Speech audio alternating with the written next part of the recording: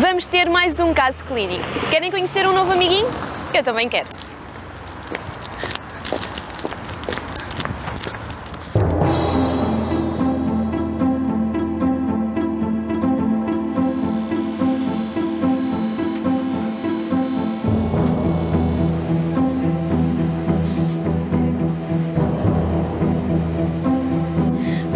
Falar da cirurgia do Black, eu tenho o Dr. Rui Rodrigues comigo. Dr. Rui, nós estivemos a assistir a uma cirurgia e foi uma cirurgia para quê?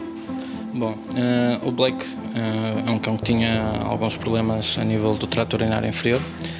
Tinha urolitos, que são cálculos uh, formados por precipitação de alguns sais que, que, podem surgir na urina. Um, havia, havia cálculos na, dentro da própria bexiga e havia uns três espalhados ao longo da uretra em vários sítios.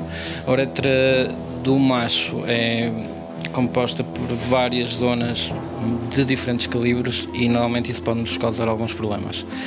No caso do Black, o que é que acontecia? Ele tinha três cálculos dentro da bexiga, esses são relativamente fáceis de remover por uma simples cistotomia, ou seja, temos que abrir o abdômen, obviamente, mas aceder à bexiga e removê-los por aí.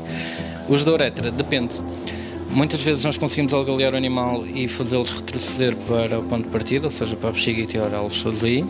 Muitas vezes eles estão presos na uretra e se estiverem lá há relativamente muito, com um relativo tempo, podem criar aderências à mucosa da, da uretra e não andar nem para trás nem para a frente.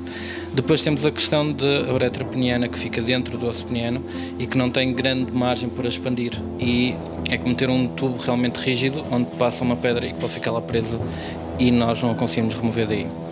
No caso do Black, bom, ele tinha mais ou menos um bocadinho de tudo ou seja, tinha cálculos vesicais mesmo na, na bexiga, não é? Por isso é que são vesicais. Tinha cálculos, um cálculo na, na curvatura da, da uretra e tinha dois dentro da uretra peniana. Ele veio cá porque estava a urinar às pingas, que é sempre a queixa mais comum nestes casos, ou porque não urinam mesmo, fazem tensão e não conseguem. E depois de fazer alguns exames de diagnóstico, como ecografia e radiografias, descobrimos que realmente existiam cálculos que eram que estavam a produzir uma obstrução física do fluxo de urina. Aí eh, tentamos algalear, não conseguimos, mas ele continuava a urinar, o que é um bocadinho estranho, apesar de tudo. Nós não conseguimos algalear e eles urinarem é algo que é um pouco estranho.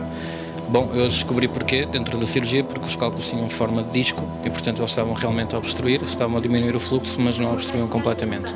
Mas a algália, como é tubular e mais ou menos do calibre da uretra, chegava lá e não conseguia uh, continuar. Os únicos que estavam a provocar realmente uma obstrução não resolvível eram os cálculos que estavam no, dentro da uretra peniana entalados contra o osso peniano e esses não consegui de maneira alguma tirá-los sem provocar mais dano do que benefício. Assim, fomos à bexiga, removemos os da bexiga por cistotomia e fizemos uma uretrostomia pré-escrotal para tentar ainda aceder aos de, de, da parte do osso.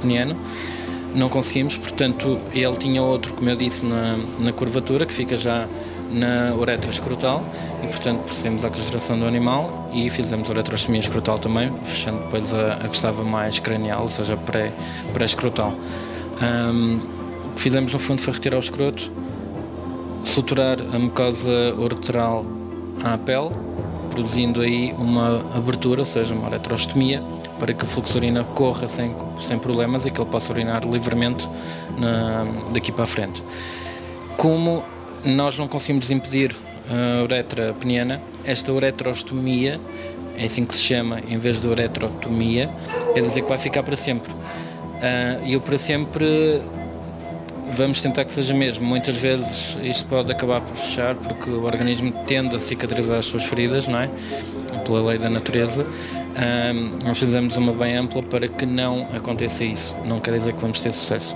Depois há uma série de, de cuidados que devemos ter no pós-cirúrgico, que também são muito importantes para que corra tudo pelo melhor. É uma zona onde existem uh, os corpos cavernosos, que são no fundo esponjas de sangue que, não, como nós sabemos, responsáveis pela ereção do pênis, e uh, essas esponjas ao suturar um, sangram sempre alguma coisa e é preciso ter muito cuidado a esses pontos unir bem a pele à mucosa uretral e tentando fechando, ir tentando fechando os corpos cavernosos que estão na, na face lateral da uretra isto para que não haja nenhum problema, não haja nenhuma hemorragia subsequente muito importante. E às vezes pode acontecer. Muito obrigada, Dr. Rui. Esperemos que ele fique melhor e que fique bem.